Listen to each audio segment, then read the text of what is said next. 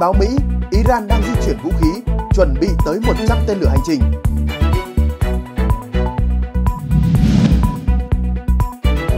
Vũ khí mới giúp Ukraine làm gián đoạn đường tiếp tế của Nga.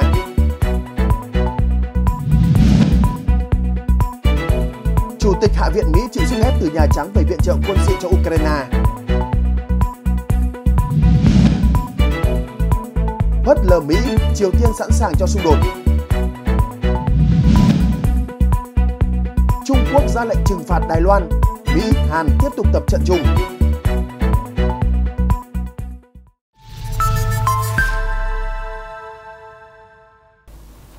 Kính chào quý vị, vừa rồi là những nội dung chính trong bản tin về chính trường thế giới được chúng tôi liên tục cập nhật theo thời gian thực. Sau đây là nội dung chi tiết.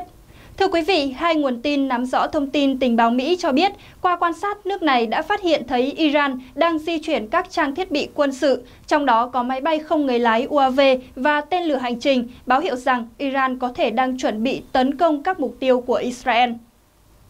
Trước đó, Iran cáo buộc Israel gây ra vụ tấn công ở Damas, Syria. Dù Iran muốn có một cuộc tấn công trả đũa lớn, nhưng họ cũng không muốn bị lôi kéo vào cuộc xung đột trực tiếp với Israel và Mỹ đó là lý do tại sao tình báo Mỹ đánh giá rằng Iran có thể sử dụng lực lượng thân Iran để tiến hành cuộc tấn công đầu tiên. Giới chức Mỹ cho rằng chắc chắn Iran sẽ tấn công trả đũa Israel và vấn đề là sớm hay muộn. Trong bối cảnh đó, một loạt quốc gia đã cảnh báo công dân tránh đi lại tới Israel, Iran và khu vực Trung Đông nói chung. Theo hãng tin AFP, trong một thông báo trước đó, Bộ Ngoại giao Ấn Độ đã khuyến cáo công dân không nên đến Iran và Israel cho đến khi có thông báo mới, với lý do tình hình căng thẳng trong khu vực. Bộ Ngoại giao Ấn Độ nói thêm rằng công dân Ấn Độ ở hai nước này nên tuân thủ các biện pháp phòng ngừa tối đa về an toàn và hạn chế di chuyển ở mức tối thiểu. Trước đó, các quốc gia bao gồm Mỹ và Nga đã ban hành khuyến cáo đi lại tương tự cho nhân viên ngoại giao và công dân trong khu vực. Pháp cũng cảnh báo công dân bắt buộc hạn chế đi lại trong những ngày tới Iran, Liban, Israel và các vùng lãnh thổ Palestine. Ngoại trưởng Stefan Sejourne cũng yêu cầu sơ tán thành viên gia đình của các nhà ngoại giao Pháp ở Iran và không cử công chức Pháp nào đi công tác tới các quốc gia trong danh sách. Bộ Ngoại giao Ba Lan cũng đã khuyến cáo công dân nước này không nên đến Israel, Palestine và Liban,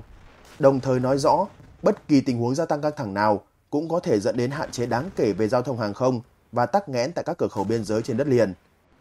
Trong khi đó,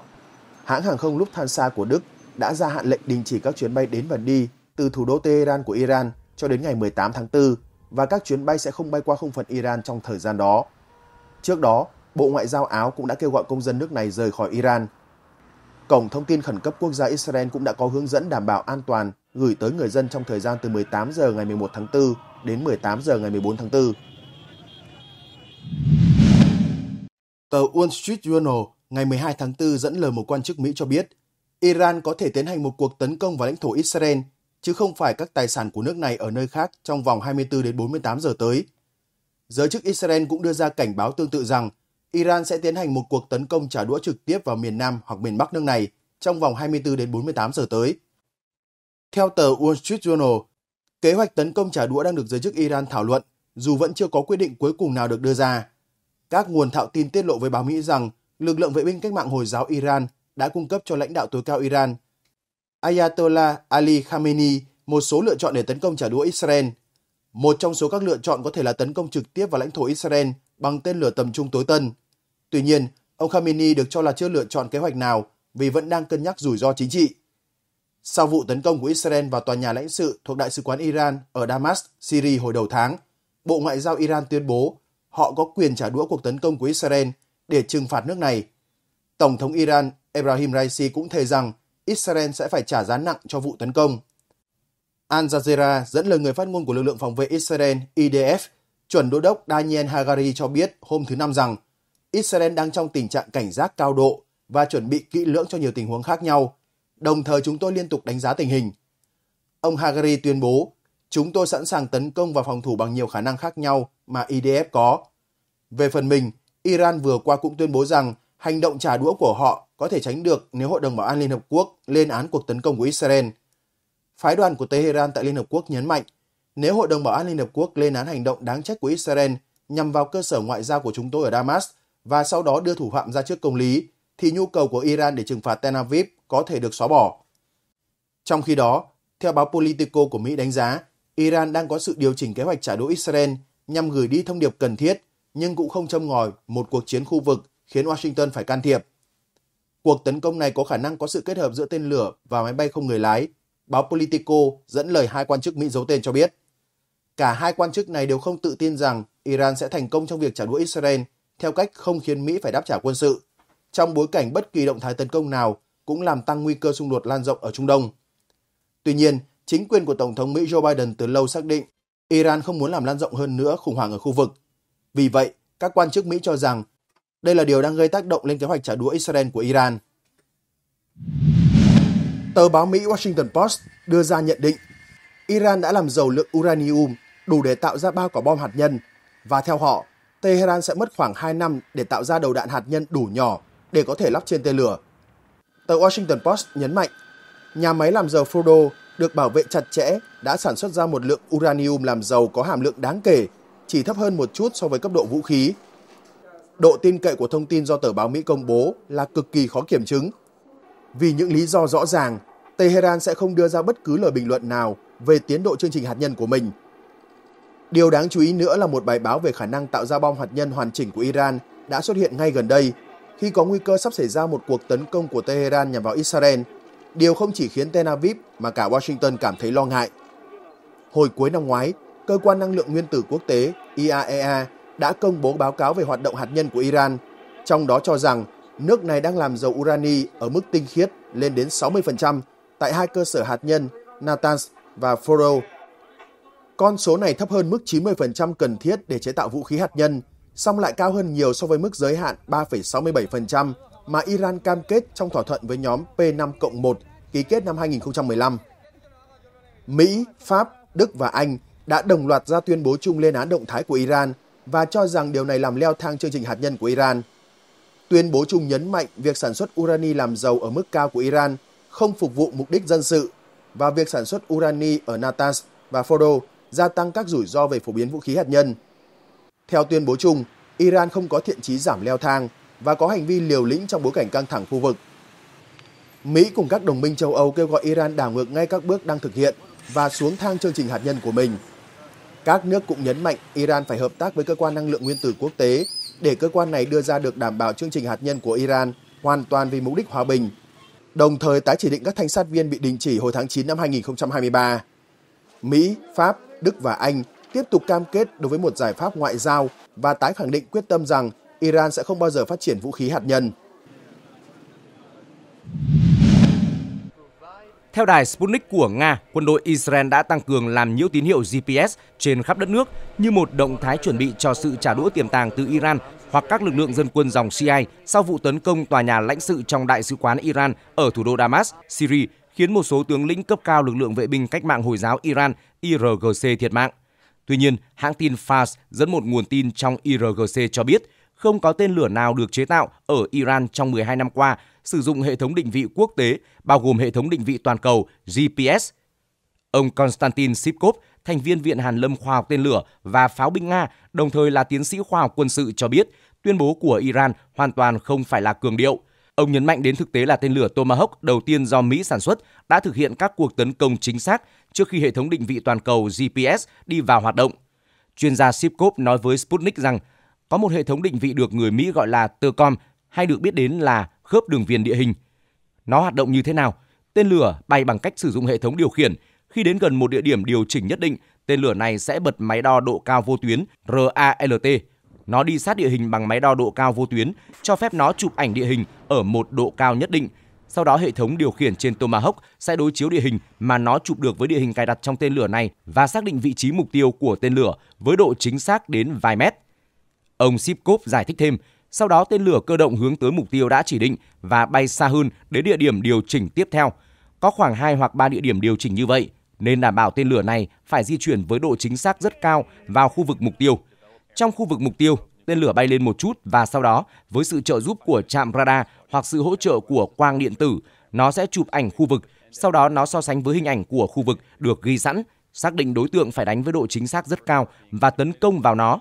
độ chính xác của đòn đánh trong trường hợp này có xác suất sai số bán kính là 5 đến 10 mét. Chuyên gia Sipkov cho biết thêm, Khi GPS bắt đầu hoạt động vào những năm 1990, quân đội Mỹ đã sử dụng nó để điều chỉnh quỹ đạo của tên lửa trong trường hợp có những thay đổi khẩn cấp về nhiệm vụ, mục tiêu và vị trí. Theo vị chuyên gia này, GPS cho phép bộ điều khiển thực hiện các điều chỉnh đối với nhiệm vụ của tên lửa, trong khi hệ thống TERCOM sử dụng dữ liệu được tải lên ban đầu. Ông Sipkov giải thích, tuy nhiên hệ thống TERCOM vẫn tồn tại và Iran sử dụng nó. Chúng tôi cũng sử dụng hệ thống như vậy. Điều này khá khả thi và người Mỹ có tên lửa như vậy. Ví dụ Tomahawk có cả hai hệ thống điều khiển chuyến bay GPS và TERCOM. Theo chuyên gia này, tên lửa do Iran sản xuất sử dụng TERCOM có thể dễ dàng bắn trúng mục tiêu.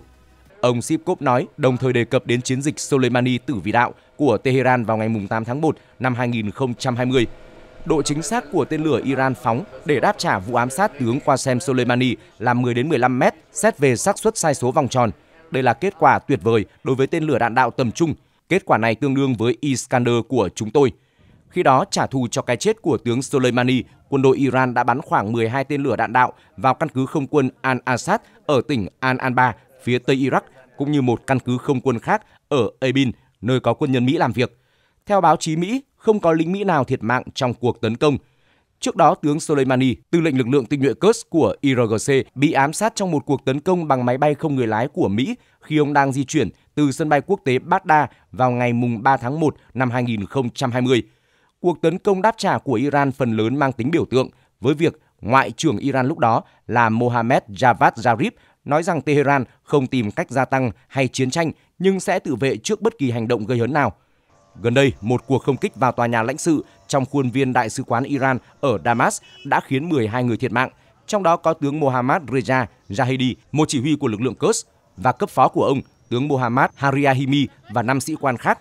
Mặc dù Israel không chính thức nhận trách nhiệm về vụ tấn công, nhưng đây được xem là một trong những hoạt động chiến tranh bóng tối của Tel Aviv. Tổng thống Iran Ebrahim Raisi tuyên bố rằng cuộc tấn công sẽ không thể không có đòn đáp trả. Thưa quý vị, trong nỗ lực tăng cường đánh vào hậu cần của Nga, Ukraine vừa trình làng chiến thuật mới khi điều UAV thả những trông sắt bốn cạnh xuống các tuyến đường vận tải nhằm ngăn chặn Nga tiếp tế hậu cần cho quân đội. Trong bối cảnh bế tắc khi giao tranh với Nga do thiếu đạn dược và nhân lực, Ukraine đã tăng cường tấn công sâu vào đằng sau chiến tuyến của Nga, nhắm vào tàu chiến, các tuyến đường sắt và sân bay của đối phương nhằm làm giảm bớt các hoạt động quân sự của Moscow. Forbes đưa tin Nga đang phải đối mặt với một mối đe dọa mới đằng sau chiến tuyến. Những trông sắt bốn cạnh có thể gây nổ lốp xe do UAV thả xuống các tuyến đường. Về mặt bản chất, trông sắt bốn cạnh là loại vũ khí đã được sử dụng từ lâu trong các cuộc xung đột. Ukraine giờ đây đang sử dụng chúng nhằm khiến các đoàn xe chở hàng tiếp tế của Nga bị nổ lốp. Trong thời gian những chiếc xe này dừng lại, Ukraine sẽ điều khiển UAV tự sát tấn công hoặc ném thuốc nổ xuống để phá hủy. Hậu cần là một phần quan trọng hàng đầu, là huyết mạch trong mọi cuộc giao tranh.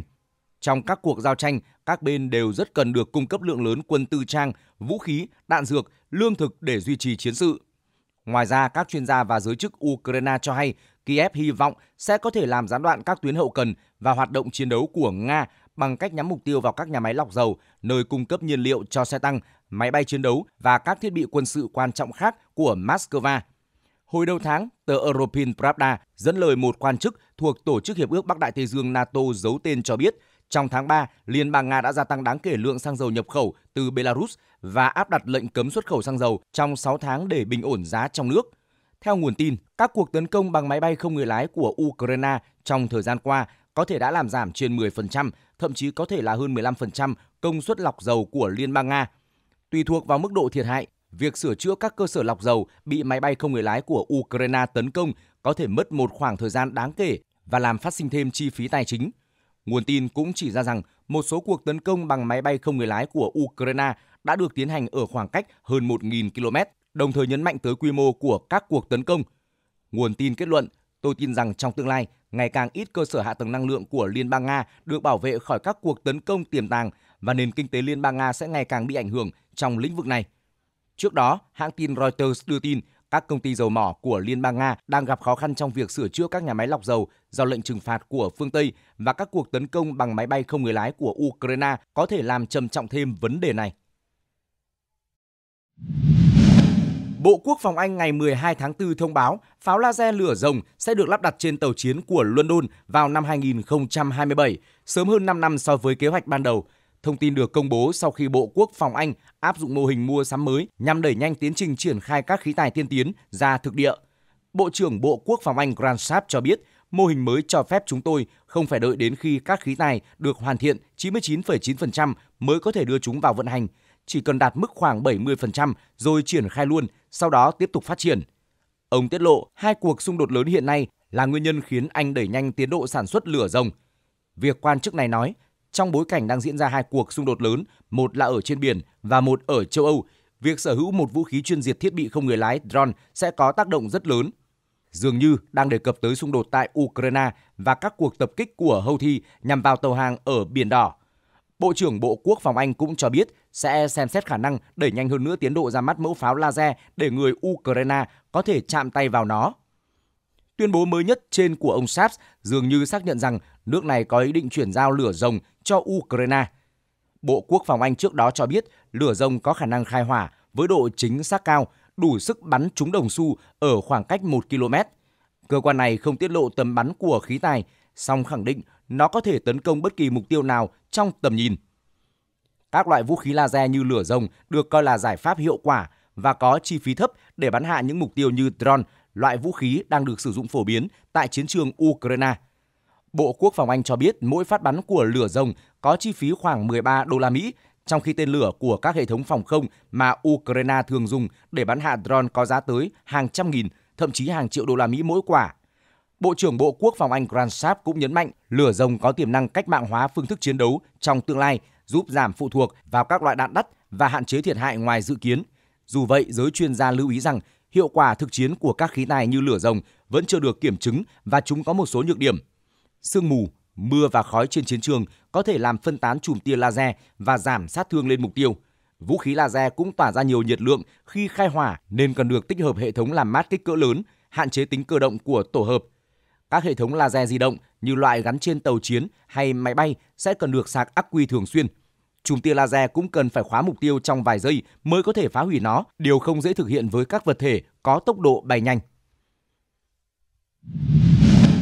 Ngày 11 tháng 4, tại phiên họp toàn thể ở Bruxelles, Bỉ, Nghị viện châu Âu EP đã từ chối phê duyệt dự toán ngân sách dành cho Hội đồng châu Âu cho đến khi cơ quan này cung cấp thêm hệ thống phòng không Patriot cho Ukraine.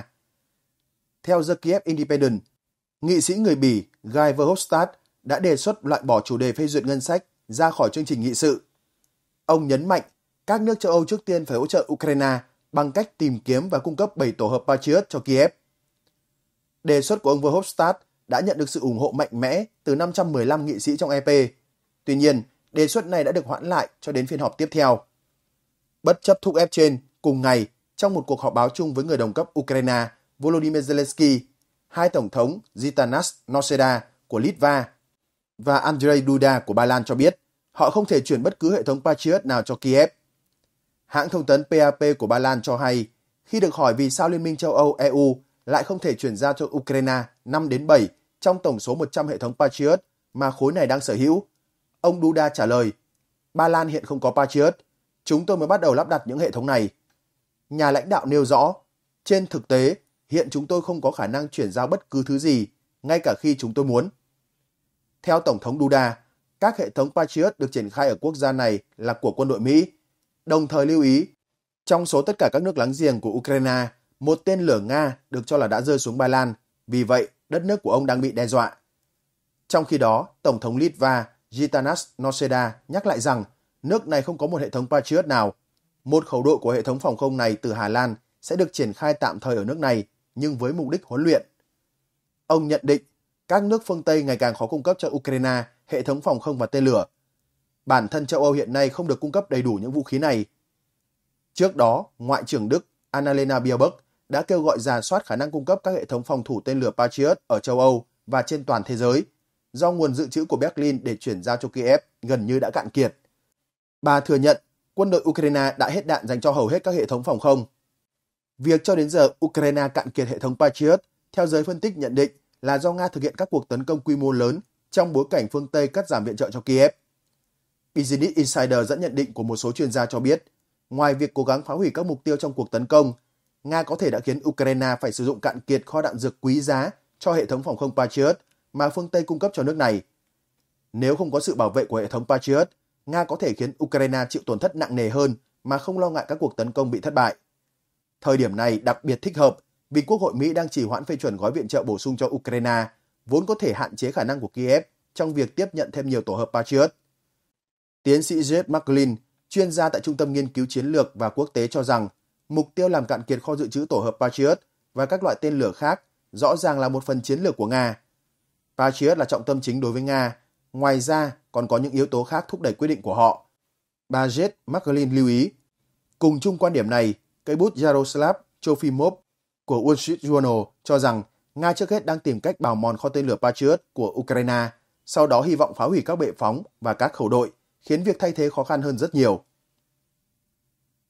Với tốc độ phá hủy các bệ phóng tên lửa phòng không Patriot của Nga hiện nay, Ukraine hy vọng các đồng minh của nước này có thể đồng thuận với việc viện trợ thêm cho Kiev hệ thống phòng không Patriot càng sớm càng tốt, trong đó có Mỹ. Tuy nhiên, phải nhìn nhận một thực tế rằng ngành công nghiệp Mỹ phải mất vài năm mới sản xuất được một khẩu đội Patriot và mỗi năm Mỹ cũng chỉ sản xuất được 500 quả tên lửa cho các tổ hợp này. Nếu cứ cấp bổ sung cho Ukraine thì Mỹ có nguy cơ không còn tên lửa để dùng.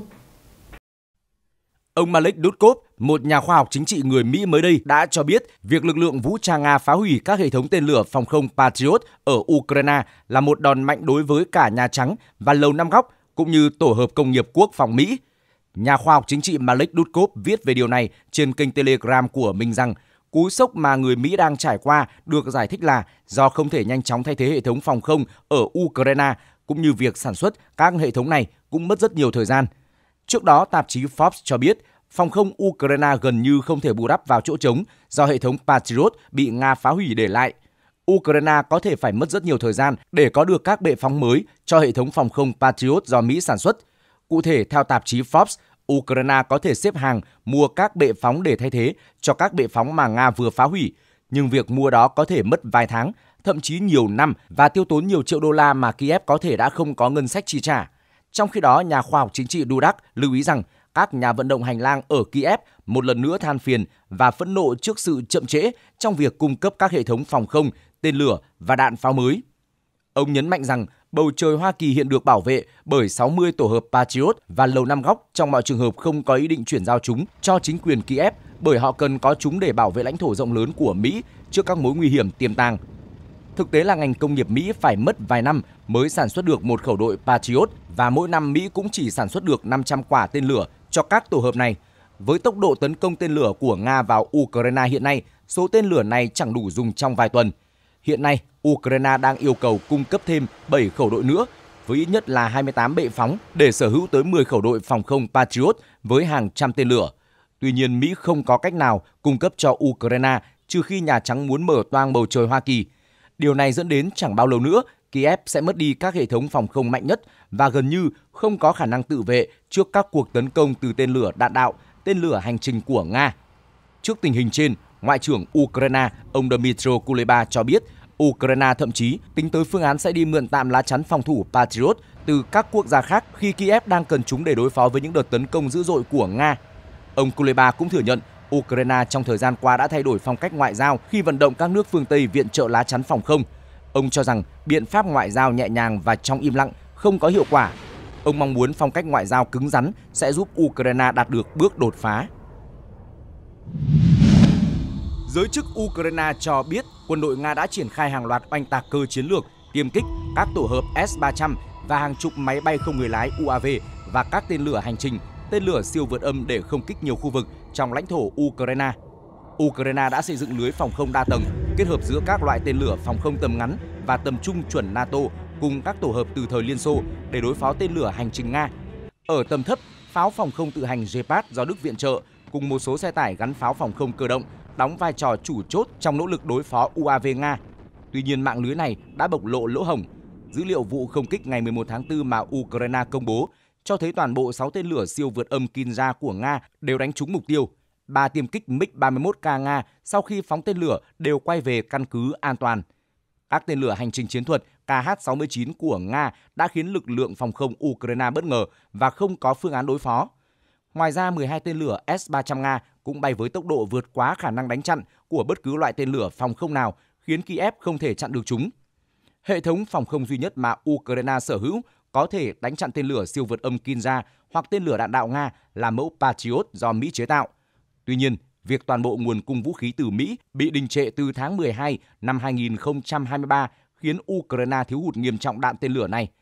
Đưa ra kết luận trên sau khi Nga tiến hành cuộc tấn công tổng hợp quy mô lớn vào cơ sở hạ tầng quan trọng của Ukraine, chuyên gia quân sự Đức Julian Roque cho biết việc Ukraine đã hết tên lửa Patriot và Iris-T và các kho vũ khí phòng không khác đều cạn kiệt hoặc bị phá hủy đã được ông cảnh báo trong vài tuần trước, đồng thời nói thêm rằng các nước phương Tây có hàng trăm hệ thống và hàng nghìn tên lửa mà Ukraine cần trong kho của họ. Trong những tuần gần đây, quan chức chính phủ và quân đội Ukraine đã nhiều lần kêu gọi các nước phương Tây cung cấp hệ thống phòng không trong bối cảnh Nga đã tăng cường không kích ồ ạt vào lưới điện của nước này. Patriot do tập đoàn Raytheon của Mỹ phát triển được đưa vào phục vụ trong quân đội Mỹ từ cuối năm 1981. Hệ thống được thiết kế để chống lại tên lửa đạn đạo, tên lửa hành trình và máy bay. Nó có thể loại bỏ tên lửa đang bay tới ở độ cao 40 km với tốc độ bay đạt Mach 5 trong khi đó, Iris-T là hệ thống tên lửa tầm trung được thiết kế để đánh chặn tên lửa hành trình và tên lửa đạn đạo, cũng như máy bay phản lực, trực thăng và máy bay không người lái. Phiên bản SLM có thể cho phép bắn trúng mục tiêu trên không ở khoảng cách lên tới 40 km, còn với phiên bản SLS ngắn hơn khoảng 25 km.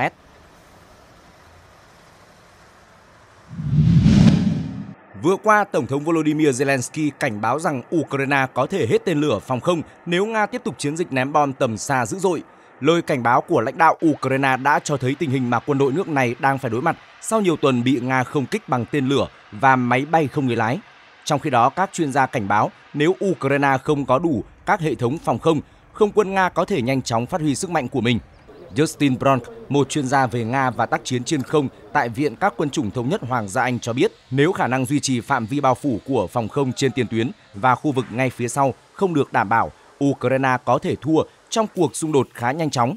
Viện Nghiên cứu Chiến tranh ISW có trụ sở tại Washington đánh giá rằng phạm vi bao phủ của lực lượng phòng không Ukraine ngày càng thu hẹp bố trí giải rác và không nhất quán dọc theo mặt trận đang góp phần khiến Nga gia tăng các cuộc tấn công bằng bom lượn có điều khiển và không điều khiển. Nhờ lợi thế từ các cuộc không kích khiến các vị trí tiền phương của Ukraine suy yếu đáng kể, lực lượng mặt đất của Nga đang tích cực tấn công và giành chiến thắng một cách chậm rãi nhưng chắc chắn.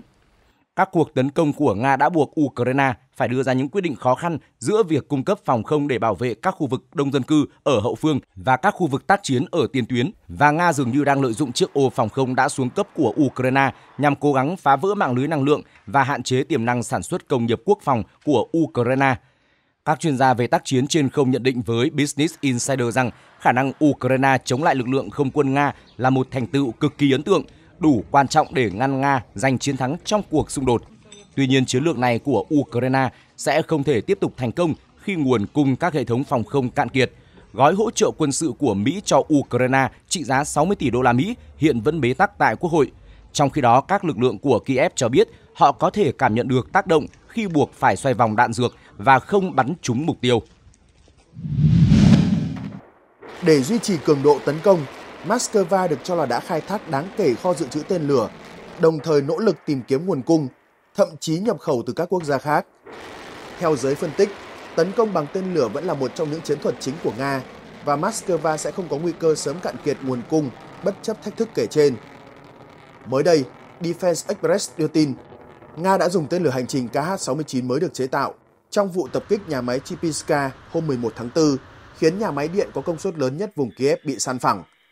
Giới chức Ukraine được cho đã phát hiện ra mảnh vỡ của tên lửa này ở hiện trường đây không phải là lần đầu KH-69 được sử dụng ở Ukraine. Trước đó vào tháng 2, Nga có thể đã sử dụng tên lửa hành trình KH-69 mới nhất trong cuộc tấn công tên lửa quy mô lớn vào Ukraine. Thời điểm đó, mạng xã hội Ukraine đã lan truyền hình ảnh mảnh vỡ được cho là tên lửa KH-69 của Nga bị lực lượng Ukraine bắn hạ. Theo các nguồn tin Ukraine, tên lửa mới của Nga thuộc dòng không đối đất và có đặc điểm tương tự như tên lửa Storm Shadow của phương Tây. Đặc biệt, tên lửa là một phần trong hệ thống vũ khí của tiêm kích Su-57 Điều này không loại trừ khả năng Nga đã triển khai siêu tiêm kích Su-57 trong cuộc xung đột hiện tại.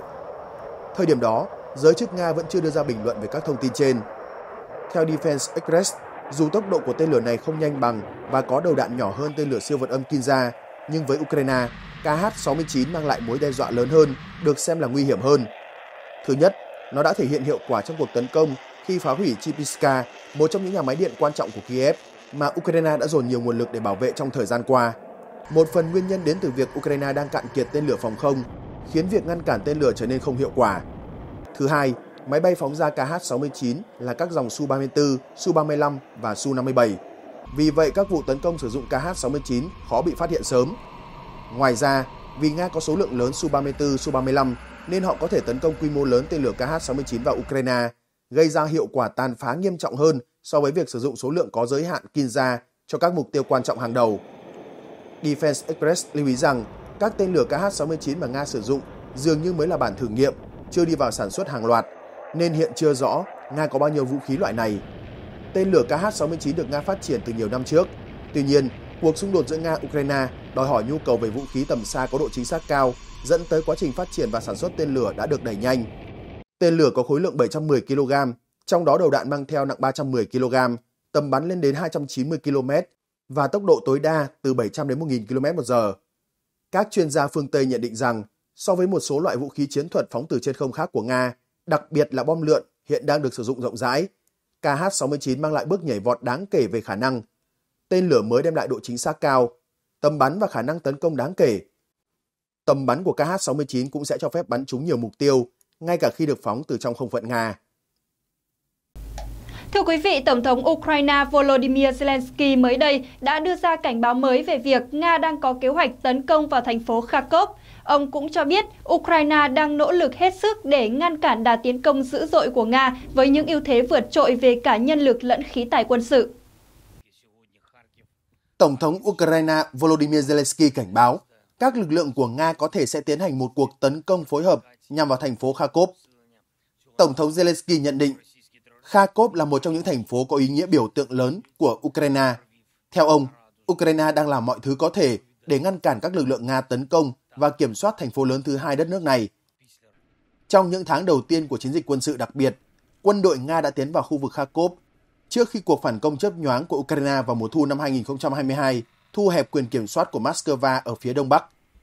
Trong những tháng dài giao tranh kể từ đó, phía đông Kharkov vẫn là tâm điểm giao tranh và thường xuyên bị ném bom. Các quan chức Ukraine và các nhà phân tích phương Tây đầu năm nay cảnh báo các lực lượng của Nga có thể tiến hành một cuộc tấn công dọc một số điểm trên tiền tuyến.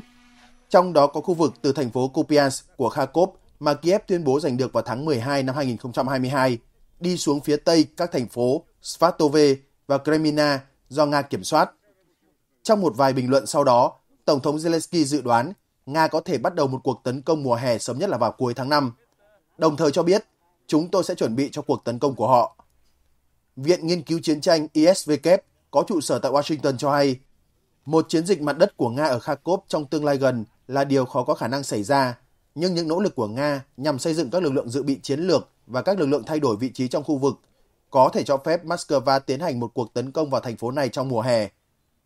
Mối đe dọa về cuộc tấn công của Nga vào Kharkov hoặc thành phố Sumy cũng ở phía đông bắc Ukraine có thể buộc Kiev phải huy động các nguồn lực hạn chế để tăng cường các công sự mới trong khu vực, ISVK đánh giá. Trước đó, Văn phòng Tổng thống Zelensky cho biết nhà lãnh đạo Ukraine đã xem xét quá trình xây dựng các cấu trúc phòng thủ và công sự gần biên giới với Nga trong một chuyến thăm khu vực Kharkov. Cho rằng đây là một khu vực vô cùng quan trọng, ông Zelensky nói, chúng ta phải chuẩn bị. Nga phải nhận ra rằng chúng ta đã sẵn sàng tự vệ. Ole Sinehubov, người đứng đầu chính quyền quân sự khu vực Kharkov cho biết, các công sự này bao gồm tuyến phòng thủ răng rồng chống tăng và các chiến hào mới. Tuy nhiên, Nga vẫn có thể tiến hành tấn công dọc bất kỳ khu vực nào trên tiền tuyến. ISVK nhận định và cho rằng điều đó sẽ tiếp tục gia tăng sức ép lên các nguồn lực vốn đã bị kéo căng của Ukraine. Thực tế tới nay phía Nga chưa đưa ra bất kỳ thông tin chính thức nào liên quan tới hoạt động ở Kharkov. Các ý kiến về khả năng Nga dồn sức chiếm thành phố này cũng là chủ đề gây tranh cãi trong giới chuyên gia. Phe hoài nghi cho rằng khó có chuyện Nga dồn từ 100.000 tới 150.000 quân để đánh chiếm Kharkov. Nhà quan sát quân sự người Israel David Sharp lưu ý đó là quân số tương đương 40 đến 50% toàn bộ binh sĩ Nga đang tham chiến tại Ukraine và điều này rõ ràng không khả thi với tình trạng chinh chiến trên nhiều mặt trận như hiện nay. Một mặt, những người chỉ trích Nga cho rằng tin đồn chiếm Kharkov được Nga đưa ra như đòn tâm lý chiến với Ukraine. Mặt khác, Đây cũng có thể là cách Ukraine nêu bật nhu cầu viện trợ vũ khí trong bối cảnh thiếu hụt hiện nay. Giai đoạn từ khóa Kharkov nổi lên cũng là lúc Tổng thống Zelensky cố gắng thuyết phục Mỹ thông qua gói viện trợ 60 tỷ đô la Mỹ cũng như vận động các nước cung cấp vũ khí tầm xa cho Kiev. Thực ra, các quan chức Ukraine cũng nhận định hiện nay chưa thấy mối đe dọa về việc Nga tấn công mạnh ở Kharkov. Thậm chí, nguồn tình báo cũng không ghi nhận cuộc tập trung lực lượng quy mô lớn từ phía Nga. Ngày 10 tháng 4, thị trưởng Kharkov Ihor Terekhov còn tự tin rằng Nga chắc chắn sẽ không thể vươn tới thành phố này. Những ngày qua, Kharkov đang hầu như rơi vào tê liệt vì các cuộc không kích của Nga. Vài ngày trước, Ngoại trưởng Đức Annalena Baerbock kêu gọi các nỗ lực quốc tế cấp tốc trong việc gửi hệ thống phòng không cho Ukraine và khẳng định Nga đang muốn săn phẳng khu vực này. Cố vấn của lãnh đạo DPR Igor Kimakovsky nói rằng quân đội Ukraine đã từ bỏ một số vị trí gần Adivka ở Cộng hòa Nhân dân tự xưng Donetsk DPR. Ông Kimakovsky nói, việc tiếp tục các hoạt động của pháo binh tầm ngắn và tầm xa đã mang lại kết quả gần Novokalinovo. Cường độ hỏa lực và hoạt động của các nhóm tấn công của quân đội Nga đã buộc lực lượng Ukraine phải rời bỏ vị trí. Cố vấn của người đứng đầu TPR nói với hãng thông tấn TASS rằng các lực lượng Nga đã phá hủy một xe chiến đấu bộ binh Ukraine cùng với tổ lái và một xe ra phá bom mìn ở Chasovia. Trước tình hình giao tranh ngày càng khốc liệt ở Ukraine, Thủ tướng Ba Lan, ông Donald Tusk đã đề nghị EU tích cực suy nghĩ về cách giúp đỡ các nước láng giềng Ukraine như Ba Lan tránh bị ảnh hưởng từ xung đột.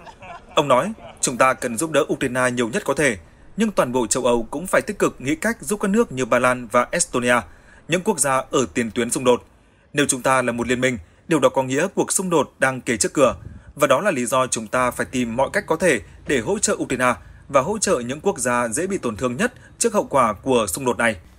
Người đứng đầu Hội đồng châu Âu Charles Michael cũng nhấn mạnh những thách thức địa chính trị đầy khó khăn mà châu Âu đang phải đối mặt, đồng thời nhấn mạnh chúng ta phải hỗ trợ Ukraine nhiều nhất có thể. Chúng ta phải tăng cường khả năng phòng thủ, khả năng sẵn sàng đối phó các cuộc tấn công và đầu tư nhiều hơn cho quốc phòng. Thủ tướng Ba Lan tháng trước cũng đã cảnh báo về mối đe dọa xung đột ở châu Âu, nói rằng đây là lần đầu tiên kể từ khi kết thúc Thế chiến thứ hai, lục địa này bước vào giai đoạn tiền chiến tranh. Trong bối cảnh đó, chuẩn đô đốc Jacques Malat, chỉ huy nhóm tác chiến tàu sân bay Charles de Gaulle của Pháp, cho biết hải quân nước này đang chuyển đổi trọng tâm hoạt động từ việc ngăn chặn buôn ma túy và đánh bắt hải sản trái phép sang việc huấn luyện, chuẩn bị giao tranh. Ông Manlat nói, chúng ta đang chuyển từ một thế giới nơi chúng ta được tự do làm theo ý mình muốn sang một thế giới mà chúng ta cảm thấy bị đe dọa thường xuyên hơn.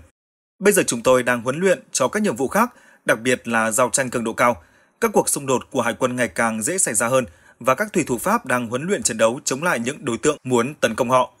Cũng theo ông Manlat, Hải quân Pháp và Italia sẽ tham gia một cuộc tập trận chung vào cuối mùa xuân dựa trên chương trình Paloris, mô phỏng một trận hải chiến. Nó mang tính rủi ro cao hơn các cuộc diễn tập trước đây nhưng sẽ rất hữu ích.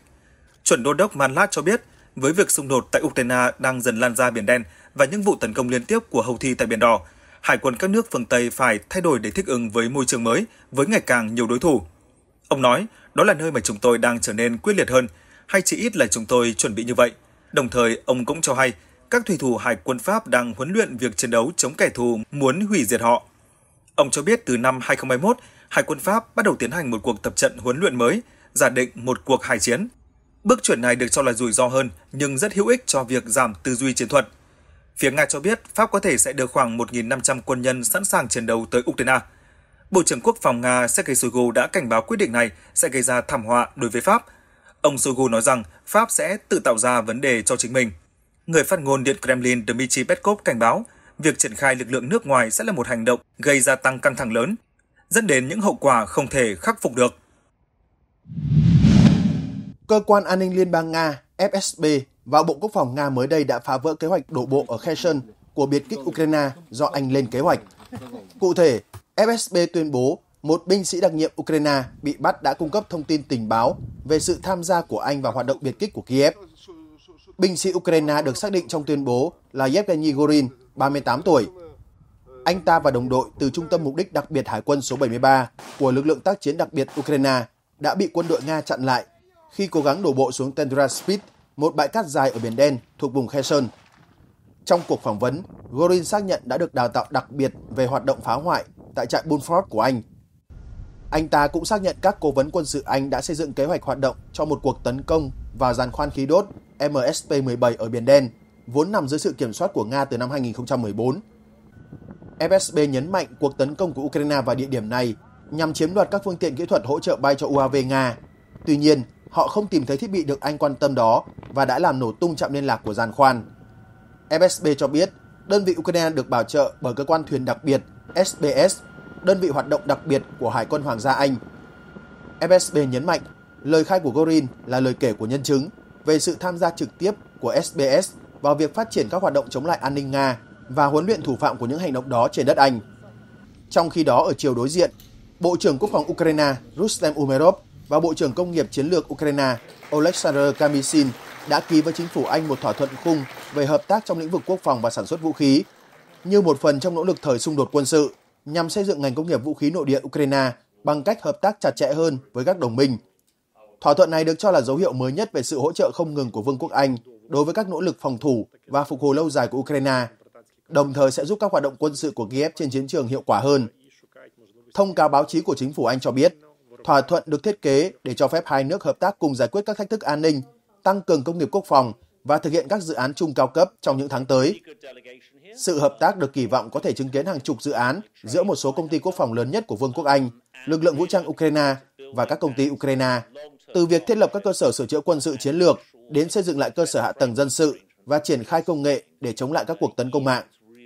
Trên thực tế, hơn 2 năm kể từ khi Nga triển khai kế hoạch quân sự ở Ukraine, quân đội Ukraine đang bị đánh giá có phần lép vế trước một đối thủ mạnh và được trang bị tốt hơn. Trong bối cảnh ngày càng có nhiều lo ngại, sự hỗ trợ quân sự từ các đối tác phương Tây của Kiev đang suy giảm, chính phủ nước này đang tăng cường nỗ lực sản xuất vũ khí của riêng mình và thu hút các nhà sản xuất lớn của phương Tây thành lập các cơ sở sửa chữa và sản xuất ở ngay tại Ukraine. Thưa quý vị, Chủ tịch Hạ viện Mỹ Mike Johnson đang đàm phán với Nhà Trắng về việc viện trợ quân sự cho Ukraine sau nhiều tháng trì hoãn. Ông Johnson có thể sẽ tìm kiếm sự ủng hộ của ông Trump hoặc chí ít là ngăn vị cựu Tổng thống này công khai phản đối việc viện trợ. Theo ABC News, ngày 12 tháng 4, Chủ tịch Hạ viện Mỹ Mike Johnson đang chịu sức ép ngày càng tăng về việc viện trợ quân sự cho Ukraine, không chỉ từ Tổng thống Joe Biden mà còn từ các nghị sĩ trong Đảng Cộng hòa của ông. Hồi tháng 2, Thượng viện Mỹ do Đảng Dân Chủ kiểm soát đã thông qua gói viện trợ trị giá 95 tỷ đô la Mỹ cho Ukraine, Israel và Đài Loan. Tuy nhiên, ông Johnson nói rằng Hạ viện sẽ cân nhắc một đề xuất được sửa đổi. Các nghị sĩ cực hữu của Đảng Cộng hòa vẫn cương quyết phản đối viện trợ thêm cho Ukraine. Trong đó, hạ nghị sĩ Marjorie Taylor Greene đã đe dọa sẽ đề nghị phế chuất ông Johnson. Tuy nhiên, cũng có những hạ nghị sĩ Cộng hòa khác nhấn mạnh cần hỗ trợ Ukraine vì nếu không sẽ tạo lợi thế cho Nga. Theo ABC News, ông Johnson đang thảo luận với Nhà Trắng về dự luật, trong đó biến một vài phần tài trợ cho Ukraine dưới dạng khoản vay, mở đường cho Mỹ sử dụng tài sản của Nga bị đóng băng để trao cho Kiev và các thay đổi chính sách khác. Với thế đa số hẹp của Đảng Cộng hòa tại Hạ viện, ông Johnson sẽ buộc phải hợp tác với Đảng Dân Chủ để thông qua các dự luật quan trọng nếu một bộ phận thành viên trong đảng của ông phản đối. Chủ tịch Hạ viện Johnson được cho là sẽ đến nhà của cựu Tổng thống Donald Trump, nhân vật quan trọng hàng đầu của Đảng Cộng hòa hiện nay và là ứng viên Tổng thống trong cuộc bầu cử vào tháng 11 để thảo luận về việc viện trợ Ukraine. Theo ABC News, ông Johnson sẽ tìm kiếm sự ủng hộ của ông Trump hoặc chí ít là ngăn vị cựu Tổng thống công khai phản đối việc viện trợ. Chủ tịch Hạ viện Mỹ Mike Johnson đang đối mặt với nguy cơ bị phế truất và chịu sức ép ngày càng lớn về dự luật viện trợ bổ sung cho Ukraine, điều mà ông chỉ hoãn suốt mấy tháng qua. Trong vài tuần qua, nghị sĩ Marjorie Taylor Greene liên tục công kích ông Johnson để cảnh báo ông chớ theo đuổi bất kỳ gói viện trợ nào cho Ukraine. Ông Johnson cũng đang làm việc ở hậu trường để tìm ra gói viện trợ có thể được thông qua. Vấn đề khó đối với ông Johnson là bất kỳ gói viện trợ nào cho Ukraine cũng đều cần đa số thành viên Đảng Dân Chủ ủng hộ. Soạn ra một dự luật có thể được Đảng Dân Chủ ủng hộ để viện trợ cho cả Ukraine và Israel sẽ rất khó khăn. Các lãnh đạo Đảng Cộng Hòa đang cân nhắc chia gói viện trợ ra, nhưng điều đó có thể vấp phải trở ngại khi các dự luật được chỉnh lên Thượng viện Ông Johnson không định tổ chức bỏ phiếu về dự luật viện trợ cho Ukraine trong tuần này, mà sẽ tập trung cho Điều 702 của đạo luật giám sát tình báo nước ngoài. Nhưng ngay cả nỗ lực này cũng có thể bất thành do mâu thuẫn trong nội bộ đảng và một lần nữa khiến Chủ tịch Hạ viện mâu thuẫn với các thành viên cùng đảng. Quốc hội Mỹ cũng phải xử lý hàng loạt vấn đề lớn khác và câu hỏi quan trọng khi Hạ viện Mỹ họp là liệu và khi nào có thể diễn ra cuộc bỏ phiếu để phế chuất chủ tịch. Tháng 3 vừa qua, bà Green gửi kiến nghị loại bỏ ông Johnson trong bối cảnh phe bảo thủ đang giận dữ với cách ông xử lý cuộc chiến ngân sách chính phủ. Nếu điều đó xảy ra, Hạ viện sẽ phải xem xét vấn đề này. một cuộc bỏ phiếu tại Hạ viện sẽ cần đa số nghị sĩ ủng hộ để loại bỏ ông Johnson. Hãng TASS ngày 12 tháng 4 dẫn lời ông Vladimir Yamakov, vụ trưởng vụ kiểm soát và không phổ biến vũ khí thuộc Bộ Ngoại giao Nga cho rằng việc sử dụng vệ tinh thương mại trong hoạt động chiến đấu đang trở thành mối đe dọa ngày càng tăng. Cụ thể, ông cáo buộc rằng Ukraine chủ động sử dụng mạng lưới vệ tinh phi chiến đấu Starlink của Mỹ trong các hoạt động quân sự chống lại Nga.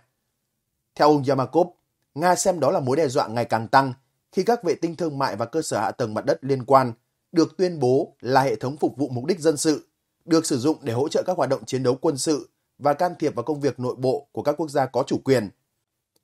Nhà ngoại giao này nói rằng hành động đó là không thể chấp nhận. Ông cảnh báo, chúng tôi cũng tin rằng hậu quả là tính bền vững lâu dài của các hoạt động không gian và nhiều quá trình kinh tế xã hội phụ thuộc trực tiếp vào việc ứng dụng công nghệ vũ trụ sẽ gặp phải những rủi ro phi lý. Yếu tố này ảnh hưởng tới lợi ích của đa số các nước thành viên Liên Hợp Quốc, nhất là các nước đang phát triển. Ngoài ra, hãng thông tấn TASS cho hay, Bộ Ngoại giao Nga ra thông cáo nhấn mạnh nỗ lực được cho là của Ukraine nhằm can thiệp vào các vệ tinh liên lạc dân sự của Nga. Cụ thể, Bộ này tuyên bố như sau. Chính quyền Kiev, với sự tham gia của các chuyên gia từ một số nước ngoài, đang nỗ lực gây ảnh hưởng lên các vệ tinh liên lạc dân sự của Nga. Theo Bộ Ngoại giao Nga, hành động trên là sự vi phạm nặng nề luật pháp quốc tế và Nga có quyền phản ứng thích hợp. Không chỉ vậy, Moscow còn nhấn mạnh rằng họ có sẵn tất cả các nguồn lực cần thiết để hành động. Các vệ tinh đóng vai trò quan trọng trong xung đột Nga-Ukraine hiện nay. Trong không gian vũ trụ, Nga có năng lực cao hơn Ukraine. Dựa trên những gì mà các chuyên gia vũ trụ đã nói với tờ Eurasian Times, thì có khả năng Ukraine, với sự giúp đỡ của phương Tây, đã can thiệp vào các dòng chảy dữ liệu giữa các vệ tinh Nga và các trạm mặt đất. Theo đài RT, hiện chưa rõ chính xác Kiev đã cố gắng phá vỡ các vệ tinh như thế nào, do Bộ Ngoại giao Nga không giải thích thêm. Sứ sở Bạch Dương đã nhiều lần bị gián đoạn phát sóng truyền hình trong thời gian diễn ra xung đột với Ukraine. Tổng thống Ukraine Zelensky từng xuất hiện chớp nhoáng trên truyền hình ở Tây Nam Nga hồi tháng 1. Chính quyền vùng Belgorod thừa nhận sự gián đoạn đã ảnh hưởng đến các chương trình phát sóng vệ tinh và dẫn đến sự cố như vậy. Ngược lại, Ukraine cũng hứng chịu việc gián đoạn phát sóng tương tự. Sự cố đáng chú ý nhất với nước này xảy ra hồi tháng 6 năm ngoái, khi hai kênh truyền hình thể thao Ukraine phát sóng cuộc phỏng vấn của Tổng thống Nga Putin thay vì một trận thi đấu bóng đá trong khuôn khổ World Cup. Các chính phủ và các công ty tư nhân của phương Tây đã cung cấp cho Kiev công cụ phủ sóng vệ tinh suốt nhiều tháng qua. Trong đó, các vệ tinh Starlink do công ty SpaceX của tỷ phú công nghệ Mỹ Elon Musk vận hành đã trở thành công cụ quan trọng của quân đội Ukraine trong xung đột với Nga. Trong một tuyên bố bằng video do cơ quan an ninh Liên bang Nga FSB phát đi ngày 11 tháng 4, một sĩ quan tình báo Nga cho biết cơ quan này thường xuyên nhận được thông tin về sự tham gia của các cơ quan tình báo phương Tây, chủ yếu là Anh, trong việc huấn luyện lực lượng đặc biệt Ukraine. Văn phòng Điện Kremlin cho biết, chúng tôi đã thiết lập vai trò giám sát của lực lượng đặc biệt Anh trong phần lớn các hành động khủng bố và phá hoại nhằm vào các tàu của hạm đội Biển Đen của Nga và bán đảo Crimea.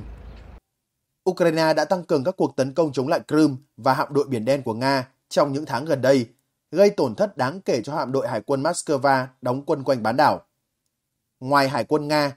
Ukraine đã tấn công các cơ sở quân sự quan trọng trên khắp Crimea, nơi đóng vai trò là bệ phóng cho xung đột ở Ukraine vào tháng 2 năm 2022. Theo FSB, lực lượng Anh đã giúp huấn luyện quân đội Ukraine và cung cấp cho Kiev thiết bị trinh sát cũng như các loại vũ khí và chất nổ mới. Sĩ quan FSB cho biết, các cơ quan tình báo Anh không bận tâm đến việc lên kế hoạch cho các hành động được cân nhắc kỹ lưỡng và các hoạt động chi tiết, càng không quan tâm đến sự an toàn của nhân viên lực lượng vũ trang Ukraine. Trước đó, Anh cũng chính là nước thường xuyên lên tiếng về tình hình Biển Đen. Hồi cuối tháng 3, Bộ trưởng Quốc phòng Anh Grant Sharp nhận định hạm đội Biển Đen đã ngừng hoạt động sau khi Ukraine tuyên bố tập kích hai tàu đổ bộ Nga. Ông Sharp viết trên X, chiến dịch tại Ukraine đang gây ra tổn thất khổng lồ cho hạm đội Biển Đen Nga. Lực lượng không còn hoạt động. Tàu Nga di chuyển trên Biển Đen từ năm 1783, song hạm đội nước này hiện không thể rời cảng. Ngay cả ở đó thì chúng cũng đang bị đánh chìm. Ông Sharp bình luận khi dẫn thông báo của Bộ Quốc phòng Ukraine rằng Kiev đã tập kích thành công hai tàu đổ bộ cỡ lớn lớp Ropucha của hạm đội Biển Đen Nga tại bán đảo Crimea gồm tàu Yaman và tàu Azov, cùng một trung tâm liên lạc và các hạ tầng quan trọng khác ở khu vực. Chỉ sau đó vài ngày, tình báo Anh tiếp tục xác nhận Nga đã sắp xếp 4 xà lan tại lối vào khu neo đậu của hạm đội Biển Đen ở cảng Novorossiysk với mục đích tăng cường phòng thủ cho hạm đội lừng danh này. Thông tin được Bộ Quốc phòng Anh công bố dựa trên các phân tích hình ảnh tại cảng Novorossiysk. Báo Independent của Anh dẫn báo cáo tình báo của Bộ Quốc phòng Anh. Đây là một nỗ lực nhằm tăng cường khả năng phòng thủ của cảng này trước các cuộc tấn công từ xuồng không người lái của Ukraine. Chuẩn đô đốc Hải quân Pháp Jacques Manlat, chỉ huy nhóm tác chiến tàu sân bay Charles de Gaulle của Pháp gần đây nói rằng Paris đang chuyển trọng tâm từ ngăn chặn cướp biển và hoạt động buôn lậu sang huấn luyện đối phó một cuộc giao tranh thông thường. Ông Manlat nói, chúng ta đang chuyển từ một thế giới nơi chúng ta được tự do làm theo ý mình muốn sang một thế giới mà chúng ta cảm thấy bị đe dọa thường xuyên hơn. Bây giờ chúng tôi đang huấn luyện cho các nhiệm vụ khác, đặc biệt là chiến tranh cường độ cao. Các cuộc xung đột của hải quân ngày càng dễ xảy ra hơn và các thủy thủ Pháp đang huấn luyện chiến đấu chống lại những đối tượng muốn tiêu diệt chúng tôi. Không phải là những đối tượng buôn lậu bất hợp pháp, cũng không phải người muốn đánh bắt cá trái phép. Theo Đô đốc Pháp, trong bối cảnh Hải quân Nga triển khai lực lượng ở Biển Đen và lực lượng Houthi ở Yemen nhắm mục tiêu vào các tàu liên kết với Israel, Mỹ và Anh ở Biển Đỏ, Hải quân phương Tây cần phải đối phó với các đối thủ ngày càng không bị kiểm soát. Cũng theo ông Manlat, Hải quân Pháp và Italia sẽ tham gia một cuộc tập trận chung vào cuối mùa xuân dựa trên chương trình Polaris mô phỏng một trận hải chiến. Nó mang tính rủi ro cao hơn các cuộc diễn tập trước đây nhưng sẽ rất hữu ích. Trước đó, Tổng thống Pháp Emmanuel Macron nói ông ấy muốn đưa lực lượng đến Ukraine. Tuy nhiên, theo một ý kiến đánh giá, đó không phải dấu hiệu tốt, đó là dấu hiệu cho thấy phương Tây đã từ bỏ Ukraine. Theo các nhà phân tích, có thể Tổng thống Pháp muốn gửi tín hiệu về sự mơ hồ chiến lược rằng Điện Kremlin không nên chắc chắn phương Tây e ngại chiến tranh đến mức nào. Cho dù Paris không thực sự triển khai bộ binh, nhưng lời đe dọa của ông Macron cần phải phù hợp với năng lực thực tế. Về lực lượng và năng lực, việc đưa binh sĩ Pháp đến Ukraine có thể dựa trên những giả định sau. Thứ nhất là triển khai một sư đoàn, Pháp sẽ đưa một nửa lực lượng bộ binh của mình đi chiến đấu trực tiếp. Thứ hai là liên kết phòng thủ, một sư đoàn không đủ sức tấn công mà cần lợi thế ít nhất là 3-1. Nga hiện có khoảng 300.000 binh sĩ trên tiền tuyến. Với một sư đoàn, quân Pháp có thể đóng vai trò lực lượng dự bị cho Ukraine. Tuy nhiên, Pháp có thể chọn thời điểm quan trọng để đưa lực lượng vào hỗ trợ Ukraine nhằm ngăn cản lực lượng Nga giành chiến thắng. Thứ ba là liên minh với các đối tác. Pháp sẽ không đưa lực lượng vào Ukraine một mình. Một khả năng là các đơn vị sẽ được tích hợp với cấu trúc của Ukraine để tạo thêm giá trị gia tăng hiệu quả. Hơn nữa, Pháp sẽ không chấp nhận rủi ro nếu không có sự hỗ trợ quan trọng của các đối tác NATO. Lựa chọn thứ nhất và thứ ba sẽ chủ yếu mang tính chiến lược và biểu tượng chính trị. Trong trường hợp Nga đạt được đột phá, chính phủ của Tổng thống Volodymyr Zelensky có thể sẽ bị lật đổ. Nếu Pháp thành công trong việc bảo vệ thủ đô Kiev khỏi bị chiếm giữ, Điện Kremlin sẽ khó giành chiến thắng trong vánh. Tuy nhiên, Tổng thống Macron biết rằng việc sử dụng công khai các phương tiện quân sự bên ngoài NATO tiềm ẩn nhiều rủi ro. Ngoài khả năng Moscow có thể động đến vũ khí hạt nhân, có thể xảy ra khả năng Pháp bị tấn công bằng máy bay chiến đấu hoặc vũ khí tầm xa. Một trong những trục dễ bị tổn thương nhất chạy từ Hungary về phía dãy Alper. Cái gọi là hành lang Tyrol thực tế không được bảo vệ từ trên không. Theo logic răn đe thông thường, việc triển khai bộ binh sẽ khiến tình hình căng thẳng hơn nữa, trong khi Pháp không còn là một cường quốc quân sự. Sự tham gia quân sự của Pháp có thể sẽ là cách cuối cùng của châu Âu để ngăn chặn thất bại ở Ukraine và một cuộc xung đột lớn hơn.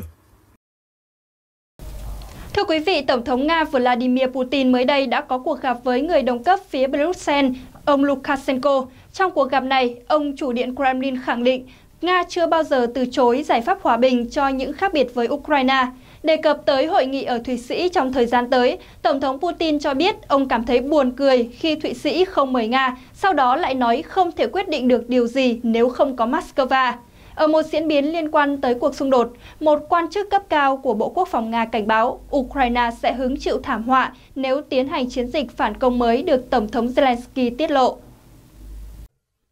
Vừa qua, chính phủ Thụy Sĩ thông báo sẽ tổ chức một hội nghị quốc tế cấp cao vào tháng 6 tới để giúp vạch ra con đường hướng tới hòa bình ở Ukraine. Nước này cũng bày tỏ hy vọng rằng một ngày nào đó Nga có thể tham gia vào tiến trình hòa bình cho Ukraine. Ngoại trưởng Thụy Sĩ kế đó cho biết thư mời tham dự chính thức hội nghị sẽ được gửi đến hơn 100 nước nhưng không nói rõ liệu có Nga không. Trong cuộc gặp Tổng thống Belarus Alexander Lukashenko ngày 11 tháng 4 tại Moscow, Tổng thống Nga Vladimir Putin lại tuyên bố Nga không nằm trong danh sách được mời. Ông nói, Thụy Sĩ không mời chúng tôi đến đó vì họ nghĩ rằng chúng tôi không có gì để làm ở đó. Nhưng đồng thời họ lại nói không thể quyết định được điều gì nếu không có chúng tôi. Theo hãng thông tấn AP của Mỹ, nhà lãnh đạo Nga cho rằng điều này rất buồn cười.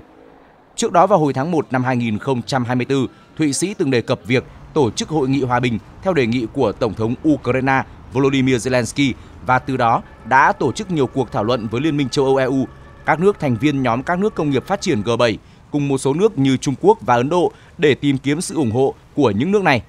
Trong thông báo mới, Hội đồng Liên bang Thụy Sĩ nêu rõ sáng kiến tổ chức hội nghị cấp cao liên quan đến tiến trình hòa bình Ukraine đã nhận được sự ủng hộ phù hợp từ nhiều nước.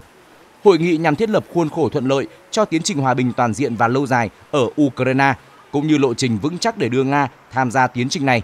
Giới chức Thụy Sĩ chưa công bố danh sách đầy đủ các bên tham gia hội nghị sắp tới. Trong khi đó, truyền thông Thụy Sĩ đưa tin Tổng thống Mỹ Joe Biden sẽ tham dự hội nghị. Ở một diễn biến khác liên quan tới cuộc xung đột đang diễn ra hết sức căng thẳng, một quan chức cấp cao Bộ Quốc phòng Nga cảnh báo quân đội Ukraine sẽ hứng chịu thảm họa nếu tiến hành chiến dịch phản công mới được Tổng thống Zelensky tiết lộ.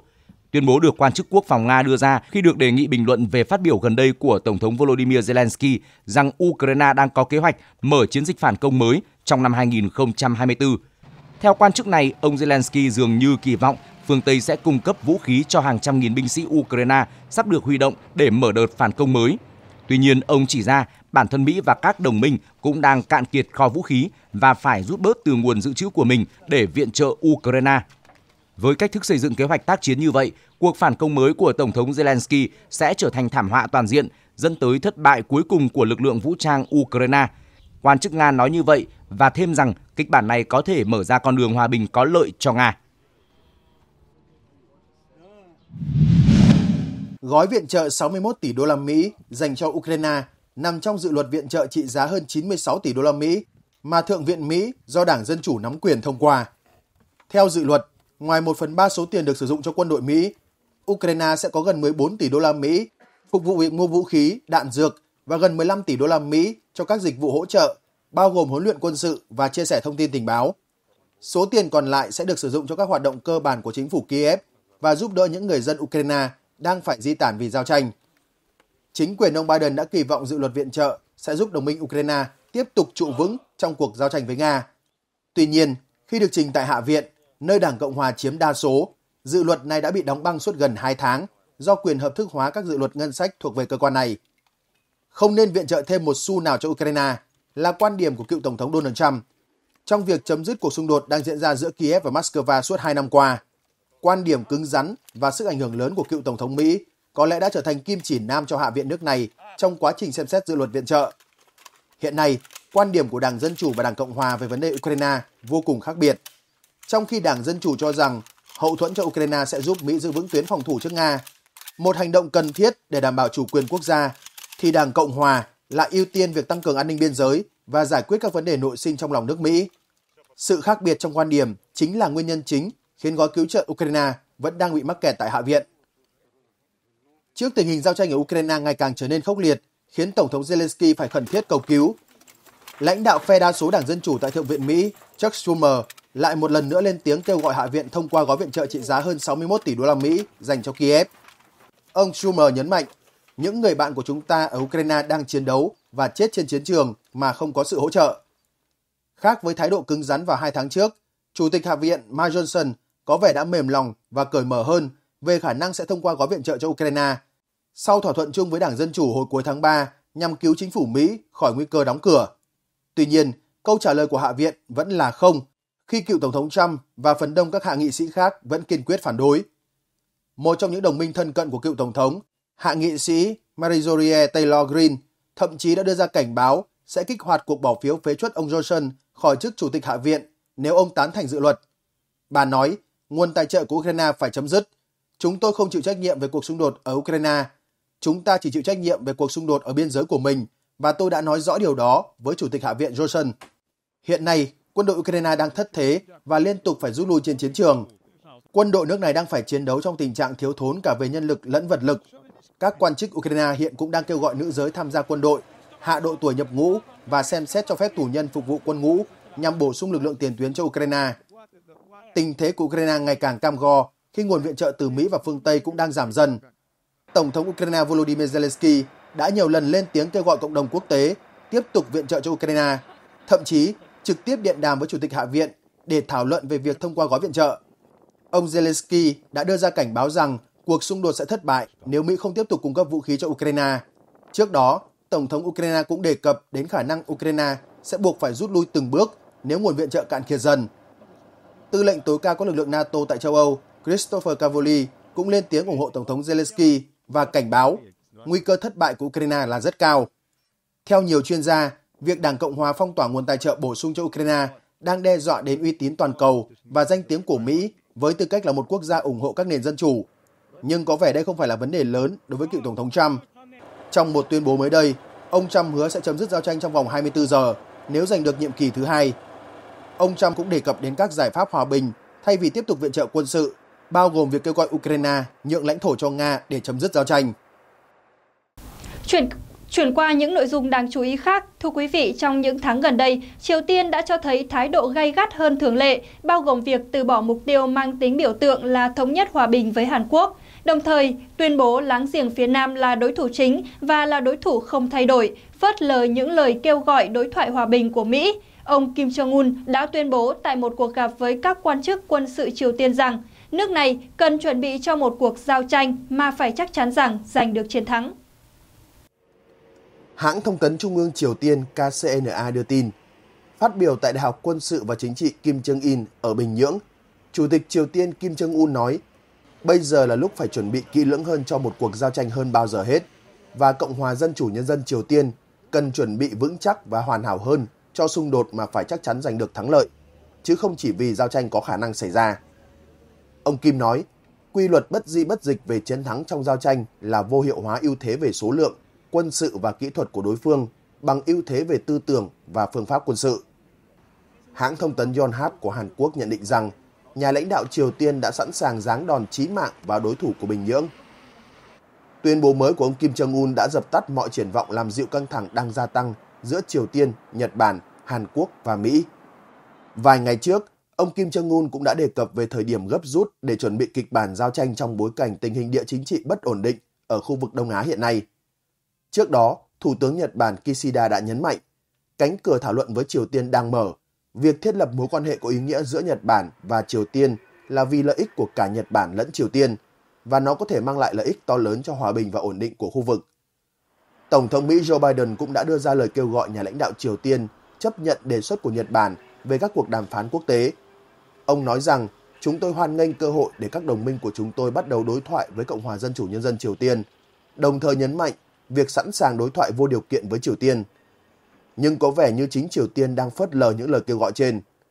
Trong những năm gần đây, Triều Tiên đã tăng cường phát triển vũ khí và công nghiệp quốc phòng. Ông Kim Jong-un nhấn mạnh nước này sẽ không do dự mà giáng đòn chí tử vào đối phương bằng cách huy động mọi phương tiện sẵn có. Song song đó là củng cố và thắt chặt mối quan hệ quân sự với Nga. Bên cạnh đó, ông Kim cũng chỉ rõ bối cảnh quốc tế hiện rất phức tạp, đồng thời tình hình quân sự và chính trị bất ổn xung quanh Triều Tiên – Triều Tiên cũng cáo buộc Mỹ và Hàn Quốc gây căng thẳng quân sự bằng cách tiến hành diễn tập quân sự với cường độ và quy mô ngày càng lớn trong những tháng gần đây. Theo John Hap, Hàn Quốc và Mỹ đã tổ chức một cuộc tập trận tác chiến kết hợp trên biển để trau dồi kỹ năng ngăn chặn các mối đe dọa và đảm bảo an ninh hàng hải. Ngày 11 tháng 4, Bộ Ngoại giao Trung Quốc công bố các biện pháp trên nhằm vào hai công ty là General Atomics Aeronautical Systems và General Dynamics Land Systems – General Atomics Aeronautical Systems sản xuất các thiết bị như máy bay không người lái quân sự, còn General Dynamics Land Systems sản xuất xe tăng, xe bọc thép và các thiết bị khác. Bộ Ngoại giao Trung Quốc cho biết Bắc Kinh đang phong tỏa tài sản của hai công ty này ở Trung Quốc và cấm lãnh đạo công ty nhập cảnh vào nước này. Theo Bộ Ngoại giao Trung Quốc, các biện pháp trên thể theo luật pháp Trung Quốc về chống lại các lệnh trừng phạt nước ngoài. Bộ này nói rằng việc bán vũ khí vi phạm nghiêm trọng nguyên tắc một Trung Quốc – can thiệp vào công việc nội bộ của Trung Quốc và làm suy yếu đáng kể chủ quyền và toàn vẹn lãnh thổ của nước này. Đây là đợt trừng phạt mới nhất được Trung Quốc áp dụng đối với các doanh nghiệp Mỹ vì liên quan đến việc bán vũ khí cho Đài Loan. Cũng liên quan đến tình hình xung quanh biển Hoa Đông, theo hãng thông tấn Yonhap, cuộc tập trận thường niên mang tên Huấn luyện bay Hàn Quốc KFT kéo dài 2 tuần được triển khai tại căn cứ không quân Kunsan ở thành phố Gunsan, cách thủ đô Seoul 178 km về phía nam – Thông cáo chung cho biết khoảng 100 máy bay thuộc 25 loại khác nhau, bao gồm cả máy bay tiêm kích tàng hình F-35B của Mỹ và F-35A của Hàn Quốc được huy động cho cuộc huấn luyện năm nay. Lực lượng lục quân và thủy quân lục chiến Mỹ cũng sẽ tham gia cuộc tập trận này. Các khoa mục huấn luyện tập trung vào khả năng phối kết hợp hoạt động của các máy bay tiêm kích hiện đại, tăng cường năng lực tấn công chính xác, huấn luyện quân đội về các tình huống tìm kiếm cứu hộ và chiến đấu cũng như huấn luyện nhảy dù hàng loạt. Theo tướng Charles G. Cameron, chỉ huy tác chiến tại lực lượng không quân số 7 của Mỹ ở Hàn Quốc, cuộc tập trận nhằm tăng cường khả năng hiệp đồng tác chiến cũng như khả năng sẵn sàng ứng phó trong mọi tình huống. KFT là một trong hai cuộc tập trận không quân quy mô lớn mà Hàn Quốc và Mỹ tổ chức hàng năm. KFT thường diễn ra vào nửa đầu năm, trong khi cuộc tập trận khác có tên là Vigilant Defense vào năm ngoái được triển khai vào nửa cuối năm. Trước đó, Hàn Quốc và Mỹ đã tái khẳng định kế hoạch tổ chức cuộc diễn tập bàn tròn, trong đó thảo luận ứng phó các tình huống khẩn cấp giả định, bao gồm các mối đe dọa hạt nhân. Theo tuyên bố chung, hai bên đã ghi nhận kế hoạch diễn tập bàn tròn trong đối thoại quốc phòng tích hợp Hàn Mỹ KIDD thường kỳ diễn ra ở thủ đô Washington, Mỹ. Trước đó, trong phiên họp của nhóm tham vấn hạt nhân NCG vào tháng 12 năm ngoái, hai bên đã nhất trí đưa các kịch bản về vấn đề hạt nhân vào cuộc diễn tập quân sự thường kỳ vào mùa hè. Trong cuộc đối thoại quốc phòng mới nhất, Mỹ đã tái khẳng định cam kết bảo vệ Hàn Quốc trước các cuộc tấn công hạt nhân. Hai bên cũng tổ chức các cuộc thảo luận chuyên sâu về hợp tác trong lĩnh vực bảo trì, sửa chữa và đại tu MRO ở khu vực Ấn Độ Dương, Thái Bình Dương. Phía Washington ghi nhận những nỗ lực của Seoul trong việc hợp tác phát triển các sáng kiến MRO, đồng thời khẳng định sự hợp tác này phù hợp với định hướng nâng cao vị thế và năng lực của Liên minh Mỹ-Hàn. KIDD được coi là một phần trong quá trình chuẩn bị cho phiên họp lần thứ ba của NCG vào tháng 6 năm nay. NCG được thiết lập theo tuyên bố Washington đã được Tổng thống Hàn Quốc Yoon suk yeol và Tổng thống Mỹ Joe Biden thông qua tại cuộc gặp thượng đỉnh ở Washington hồi tháng 4 năm 2023. Hai vòng tham vấn trước đây do Hội đồng An ninh Quốc gia hai nước chủ trì có sự tham dự của quan chức cấp cao về quốc phòng, chính sách đối ngoại, quân sự và tình báo của hai bên – Cuộc họp đầu tiên diễn ra tại Seoul vào tháng 7 năm 2023 và cuộc gặp thứ hai được tổ chức tại Washington vào tháng 12 cùng năm. Nội dung vừa rồi đã khép lại chương trình trên kênh YouTube của chúng tôi ngày hôm nay. Cảm ơn quý vị đã quan tâm theo dõi. Xin kính chào và hẹn gặp lại.